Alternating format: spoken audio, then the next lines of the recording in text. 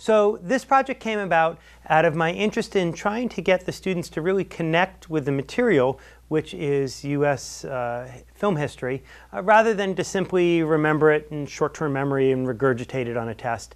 Uh, and what I realized is that I really wanted them to learn about American cultural history, who we are as a people, and how film reflects that. The new curriculum is student-centric rather than uh, teacher-driven.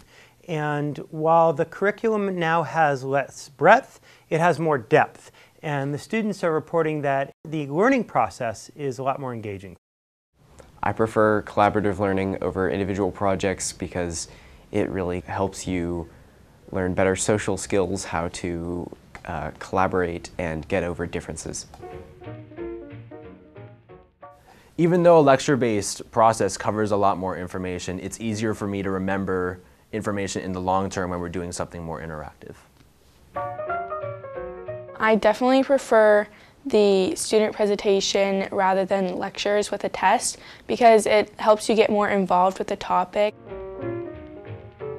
Although we know that project-based learning is great for creativity and collaborative skills, a lot of soft skills, there's still value in traditional lecture and testing. It's just that that's probably not a good idea to do exclusively.